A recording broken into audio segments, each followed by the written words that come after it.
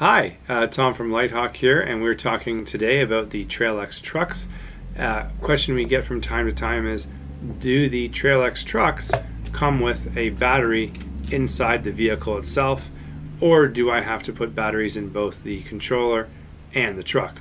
Well, the fast answer is you do need to put two AA's in the truck and two AA's in the controller. So it does not come with one. Now, secondary part about this is how do I get the cover or the, the top or the body off the vehicle? So I've got the uh, SUV, the silver one here with it removed.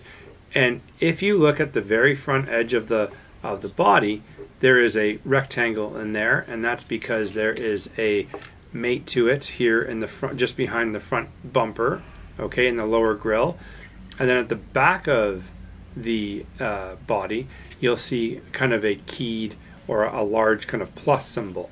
And that's actually where, again, you're going to kind of hook on the back. So to do it, really what we want to do is kind of pull the, bat- the body uh, backwards and then up to remove it. And I'm going to show you very simply here how to do that. And we're just going to pull it back and up, and then we can slide and take our, our body off. So once we have the body off the vehicle, underneath here you've got your battery hold down which we kind of unclip from here. It's easy if you push down in the center because it actually helps spread the plastic. And once we get this off okay now we can kind of insert our fresh AA batteries. Now one of the neat things about this vehicle is and this uh, happens from time to time is you forget to turn off your rate control toy or just your item in general.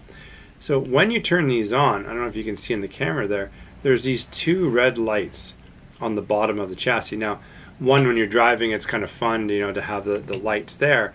But if the day's over and everyone's in bed and the lights are turned off in the house, you may notice a red underglow from the toy, and that just rem- reminds you to just simply reach up and turn it off and uh, not waste the batteries. Uh, make sure, you know, batteries are expensive.